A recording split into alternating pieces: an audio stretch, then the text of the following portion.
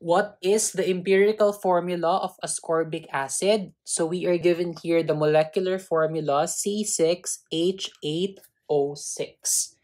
So again, the molecular formula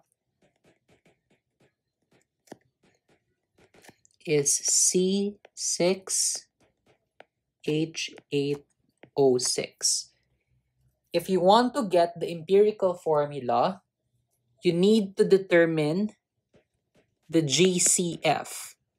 If you can recall from your grade school math, GCF means the greatest common factor.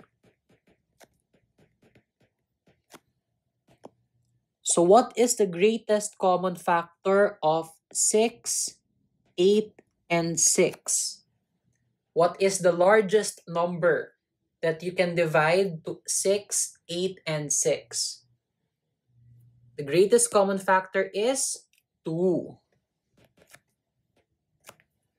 So what you need to do is you divide all of the subscripts by the greatest common factor.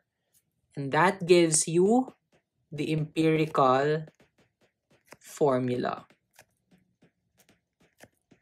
So the empirical formula is C3 H4 O3.